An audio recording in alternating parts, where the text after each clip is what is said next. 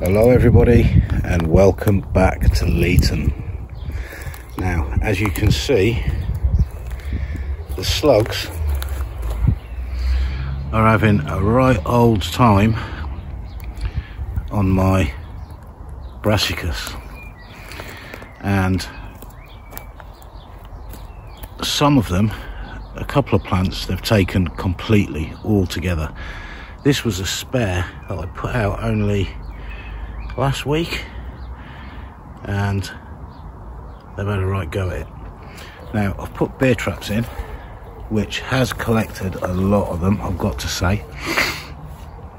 Got rid of quite a lot and I've been out here every night even in the rain hand picking the slugs off the plants and putting them in the beer traps to get rid of them and I would say I've probably killed oh, at least two or three hundred slugs. But last night I was doing a bit of research and I found something that might help me deter these slugs from my plants. So I'll see you in the shed and I'll show you all about it. So, last night I was doing a bit of research and I'm sure a lot of you already know that copper is meant to deter slugs as in a copper tape that you put around pots and things like that. And as an engineer I find, find that quite hard to believe in that the, the, the theory is it gives them an electric shock and they, they won't cross the copper tape. But without a current going into the tape then I can't see it really working. I've seen videos and uh, information online where people have put two bits of tape so far apart and then connected each piece of tape to a small battery, you know, a 6 volt battery or something. So that there is a current and if the slug bridges the two pieces of tape then it gets a shock. I can understand that. But the problem with that is it doesn't really last very long because those two pieces of copper are probably always losing current because they're on a pot of some sort and then they get wet and then there's a short and it probably doesn't really work. Never tried it so don't quote me on that. But I found on Amazon some copper netting and this is a 20 foot roll. And it was I think it was 13 quid. And I thought well if this copper theory is true they don't like copper maybe it could act as a bit of a security fence. And I could put that around my plants around the brassicas and other plants potentially as a fence. And I would have thought it would be quite hard for a slug to climb up and then over and down the other side. And also if the copper theory is true about uh, some kind of current running through it that might deter them as well. So I thought I'd give it a go.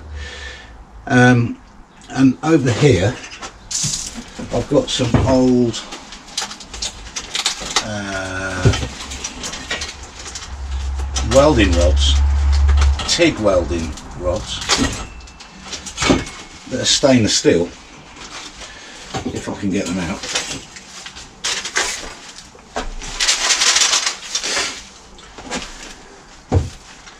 And I thought I could cut those up put them through, feed them through the mesh as a sort of post, fence post, push them into the ground and make a little barrier around the brassicas. And this is actually uh, sold as a rodent deterrent and things like that. You can block up holes and what have you. And it's just a copper mesh. Cut it with scissors So I thought I'd give it a go. For, for 13 quid, what have I got to lose really, other than 13 quid? So I'll get a few tools together and uh, I'll make one up and we'll go out and put it around one of the plants and we'll give it a try. And I'll still come out every day uh, and check for slugs and I'll still do the beer traps but I've then kind of got a three pronged approach to protecting those plants because I've put a lot of work and effort into them since March or Jan no February. And uh, I don't want to lose them now. So I'll see you in a minute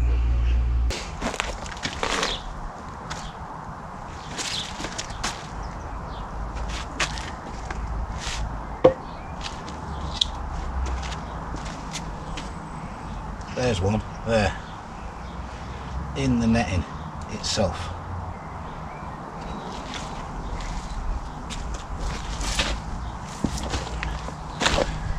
these eat your plants whatever variety that is it'll eat your plants now if you're going to handle slugs like this wash your hands after. I did mention in a previous video they carry lat they can carry rat lungworm disease and it will not do you any good at all. It can even kill you. So wash your hands he can go in the beer trap. And if you don't know what a beer trap is just move the camera. It is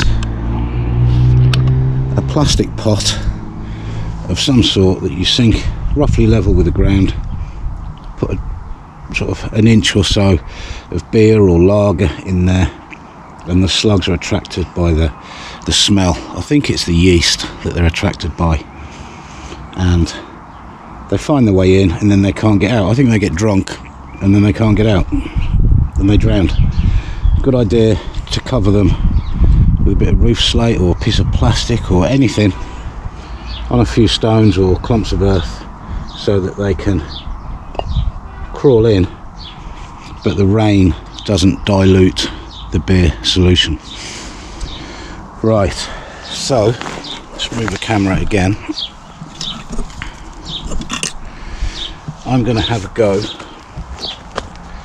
at this one here because it's still relatively healthy but it has been attacked. And part of the problem here there's two problems with this this bed. I put homemade compost on here that may well have not rotted down properly. Uh, didn't get hot enough and therefore slugs came into it. They've laid eggs and now all the baby slugs are coming out. The other problem is it's really clumpy. Um, so the slugs have somewhere to hide in the day under the clumps of soil. And then they come out when it's damp and cold and or cooler uh, and dark and munch away on the plants that I've given them. In fact I can see one over there now heading towards one of my brassicas. Let me spin the camera around. I'm going to go and get it.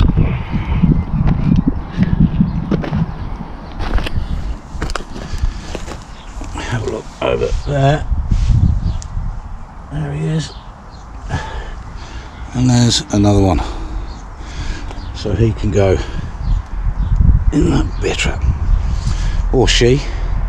In fact aren't slugs he's and she's can't they sort of make eggs on their own? I don't know. Right I'm going to spin you back around that way.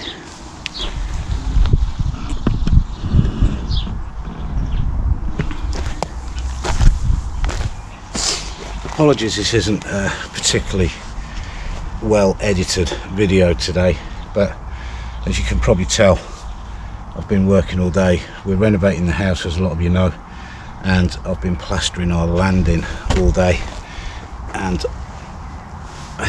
pretty tired and just come out to do this quick video because the netting copper netting arrived today. And I thought well I'm going to set one up and we're going to give it a go overnight. So I think what we're going to do is this leaf is no longer doing the plant anything. So I'm going to take that away and this one and this is I believe a cauliflower. And for some reason they've really gone for the cauliflower more than the broccoli and the sprouts.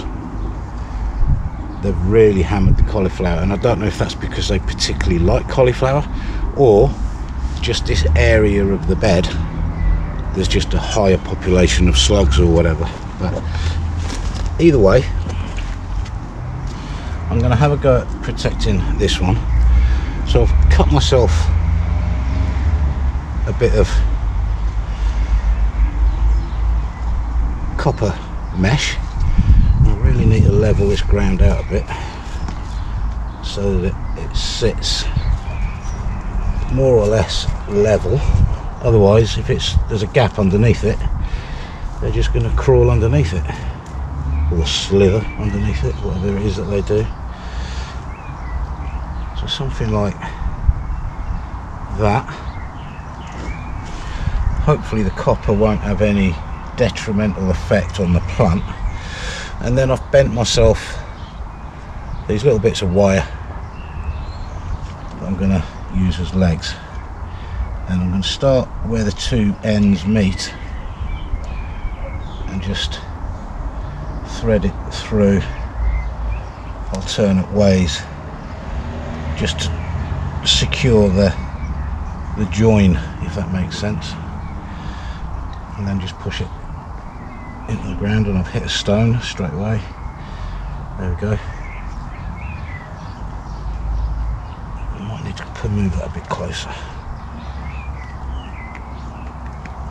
Another stone another stone. There and then I'm going to put one over this side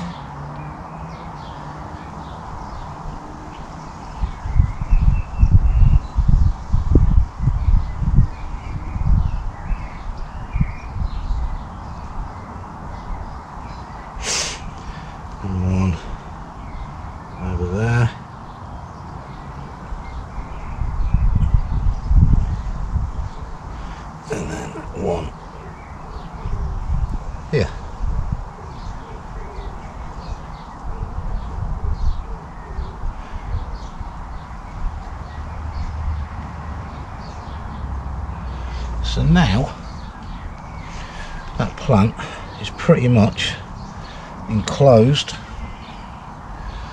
Put the soil back around. Pretty much enclosed by a copper fence. And if unless there's a slug inside that fence or already on the plant and I can't see one that plant should be protected. Hope. From slugs and snails. Obviously it won't protect it from anything else like cabbage white butterfly or aphids. And for me, brassicas are one of the hardest plants to protect because just about everything wants to eat them or lay their eggs on them. So How's this beer trap? I need to empty these. If you've never done beer traps, the slugs, as they start to rot down, seem to ferment, and it really does smell quite bad. But I just put it all on the compost, and uh, I'm sure it adds some flavour to the compost. Right, I'm going to get this covered back over, and we're going to test I'm going to take a picture now of exactly what this plant looks like and I'm going to come out and compare in the morning to see if any more of it has been eaten.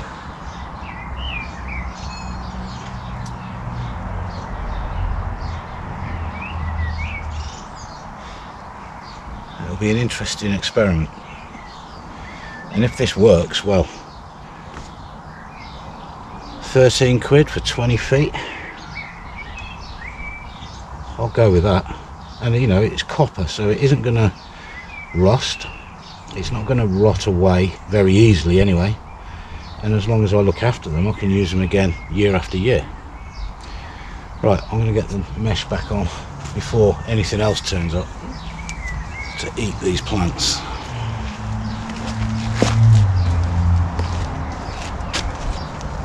So I hope you've enjoyed this short video on how I'm trying to combat this problem these slugs that we've got at the moment uh, with a three-pronged approach the proven method of hand picking them off and getting rid of them and beer traps which is proven and then a bit of a hybrid between the copper tape theory in my opinion it is a theory I've never seen it work although I'm not saying that it doesn't work please don't think that um, and a slightly different variation of it with a, a, a mesh fence which is made of copper but they will find it quite hard to climb up I would have thought because there isn't a lot for them to grip onto because the copper mesh is so thin.